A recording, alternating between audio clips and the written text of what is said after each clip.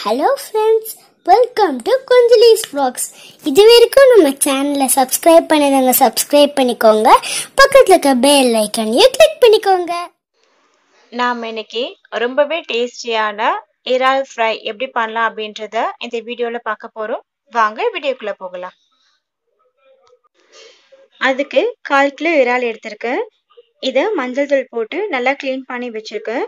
இப்போ மசாலாஸ் ஆட் பண்ணிடலாம். ஒரு டீஸ்பூன் காஷ்மீரி மிளகாய் தூள் எடுத்திருக்கேன். இதில் காரம் இருக்காது. கலருக்காக தான் நான் இதை ஆட் பண்ணுறேன் நீங்கள் நார்மல் மிளகாய் தூள் ஆட் பண்ணுற மாதிரி இருந்தால் காரத்துக்கு ஏற்ற மாதிரி ஆட் பண்ணிக்கோங்க. ஒரு டீஸ்பூன் தனியாத்தூள் ஹாஃப் டீஸ்பூன் கரம் மசாலா. இதுக்கு தேவையான அளவு உப்பு ஆட் பண்ணிடலாம். ஒரு டீஸ்பூன் லெமன் ஜூஸ் ஆட் பண்ணிக்கிறேன். ஹாஃப் டீஸ்பூன் இஞ்சி பூண்டு பேஸ்ட் ஆட் பண்ணிடலாம்.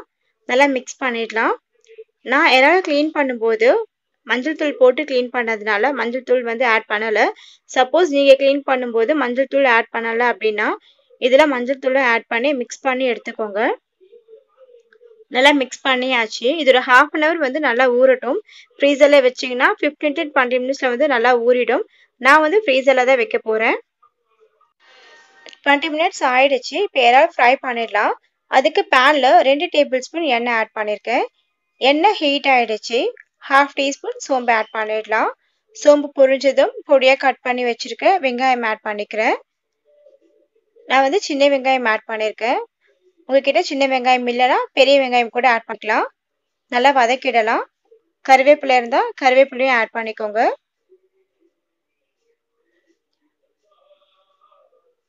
வெங்காயம் வதங்கிடுச்சு. ஹாஃப் டீஸ்பூன் இஞ்சி பூண்டு பேஸ்ட் ஆட் பண்ணிக்கிறேன். நல்லா மிக்ஸ் பண்ணிடலாம்.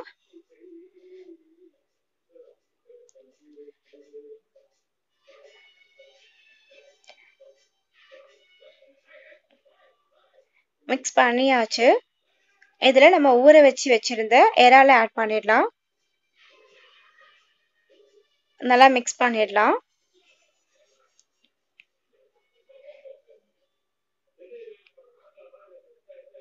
இந்த ஏரல் வந்து கலர் லைட்டாக சேஞ்ச் ஆகும். ஸோ நம்ம அது வரைக்கும் இதை நல்லா கலரி விட்டுக்கலாம். ஸோ ரெண்டு நிமிஷம் வதக்குனீங்கன்னா சரியாக இருக்கும்.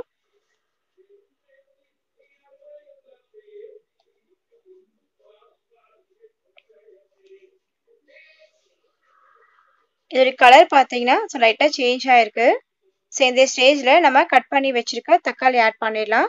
நான் வந்து ஒரு தக்காளி எடுத்திருக்கேன்.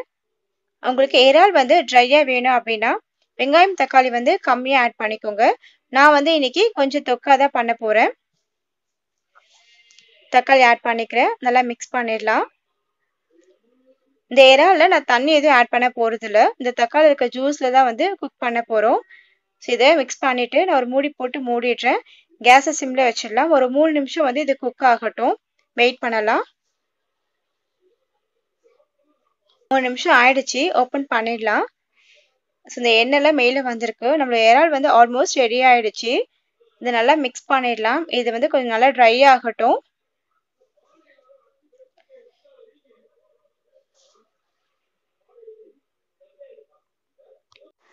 நல்லா ட்ரை ஆயிடுச்சு. இதில் ஹாஃப் டீஸ்பூன் மிளகுத்தூள் ஆட் பண்ணிக்கிறேன். கால் டீஸ்பூன் ஜீரகத்தூள். நல்லா மிக்ஸ் பண்ணிடலாம். உங்களுக்கு மிளகோட ஃப்ளேவர் பிடிக்கும் அப்படின்னா மிளகாய் தூள் வந்து கம்மி பண்ணிட்டு மிளகு தூள் வந்து அதிகமாக சேர்த்துக்கலாம். ஸோ மிக்ஸ் பண்ணியாச்சு. இந்த இறால் வந்து எவ்வளோ சாஃப்டாக குக் ஆயிருக்குன்னு பாருங்க.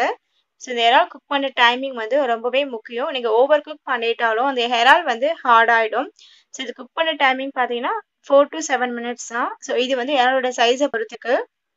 இதில் நான் கொஞ்சமாக உப்பு ஆட் பண்ணிக்கிறேன். ஸோ இந்த வெங்காயம் தக்காளி ஆட் பண்ணியிருந்தேன். ஸோ அதுக்காக இந்த உப்பு நான் ஆட் பண்ணுறேன் மிக்ஸ் பண்ணிடலாம். அவ்வளவுதான். ஃபைனலாக கொத்தமல்லி ஆட் பண்ணிக்கிறேன். ஸோ இறால் ஃப்ரை வந்து சூப்பராக ரெடி ஆகிடுச்சு இதோட டேஸ்ட் வந்து அவ்வளோ சூப்பராக இருக்கும்.